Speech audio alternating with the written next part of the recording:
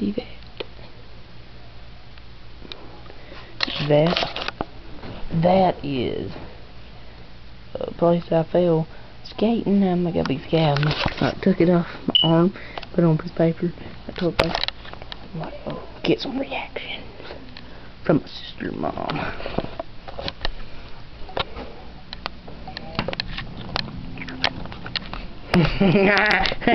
Stop! Get out here! Toby! Mom! Try to punch in the oh, fell in your hair.